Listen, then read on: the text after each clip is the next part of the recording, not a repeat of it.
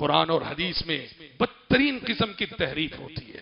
قرآن اور حدیث کے نصوص کو مروڑ کر غلط تفسیریں کی جاتی ہیں۔ قرآن نے پیارے نبی کے سلسلے میں فرمایا، وَمِنَ اللَّيْلِ فَتَحَجَّدْ بِهِ نَافِلَةً لَكَ، عَسَىٰ أَن يَبْعَثَكَ رَبُّكَ مَقَامًا مَحْمُودًا۔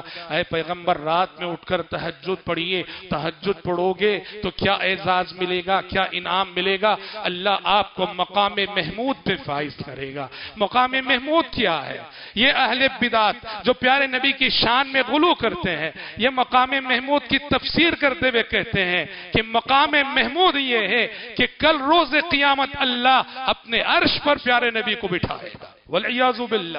یہ لے دے کے بات وہیں جاتی ہے۔ محمد اور نہیں، اللہ اور نہیں۔ جو جو جو جو اللہ تھا، وہی محمد بن کے زمین پہ اتر آئے۔ یہ جو بد عقیدگی ہے، جو ابو جہل و ابو لہب کے عقیدے سے بدتر جو ہے عقیدہ ہے، بات وہیں تک جاتی ہے۔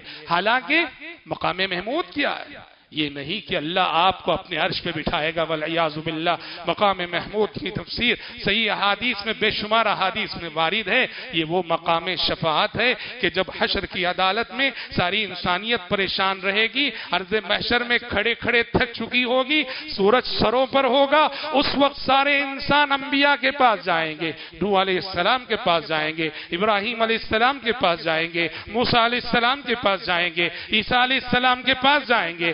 درخواست کریں گے، آپ انبیاء ہیں، آپ رسول ہیں، آج اللہ کے پاس سفارش کیجیے اور اس عرض محشر سے ہمیں چھٹکارا دلائیے۔ ہر نبی اس دن، ہر نبی اس دن انسانیت سے معذرت کرے گا کہ نہیں نہیں، آج میں سفارش نہیں کر سکتا، آج مجھے ہمت نہیں کہ میں اللہ سے ہم کلام ہو سکوں۔ غضب اليوم ربی غضبا، آج ہمارے رب کو ایسا غصہ آیا ہے، نہ آج سے پہلے کبھی ایسا غصہ آیا، نہ آج کے بعد کبھی۔ آئے گا۔ ہر نبی جب معذرت کر دے گا تو ساری انسانیت محمد الرسول اللہ صلی اللہ علیہ وسلم کے پاس جائے گی۔ کہے گی اللہ کے نبی، آپ ہی ہیں۔ اللہ سے سفارش کیجیے۔ اس عرض محشر کی آزمائش سے ہمیں چھٹکارا دلا دیجیے۔ پیارے نبی فرمائیں گے، جب سارے انبیاء معذرت کر چکے ہوں گے، پیارے نبی فرمائیں گے، انا لہا انا لہا۔ تمہاری اس مشکل کو اللہ کے حکم سے، اللہ کی اجازت سے میں حل کروں گا۔ آپ بے ساختہ سجدے میں گر جائیں گے۔ بے ساختہ سجدے میں گر جائیں گے۔ وہ عظیم سجدہ آپ کریں گے۔ جس سجدے میں اللہ تعالیٰ آپ کو خاص حمد و ثنا کے کلمات سکھائے گا، حمد و ثنا کے سیغے سکھائے گا۔ ان کلمات کے ذریعے سے پیارے نبی اللہ کی حمد و ثنا کریں گے۔ اس وقت رب العالمین کہے گا، یا محمد ارفا راسک وصل توتا وشفا تشفا اے محمد، سر اٹھائیے سجدے سے۔ جو مانگنا ہے مانگیے، آج دیے جائیں گے آپ۔ جو سفارش کرنا ہے کیجیے، آپ کی سفارش قبول کی جائے گی۔